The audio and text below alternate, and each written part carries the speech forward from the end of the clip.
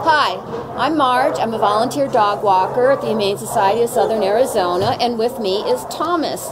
Thomas has a sad story. He was found as a stray, not in very good condition. Cactus all over him, in his mouth, all over his body. The finder brought Thomas in to the shelter to help him look for a forever home. He is a red shepherd mix, about eight years old, looking to spend his golden years with a low energy family. He just wants some love, and he'll give you lots of love back. He's treat oriented. Aren't you, Thomas? Yeah. Here you go. You sit? Good boy. Good sit. He needs to put on a little weight.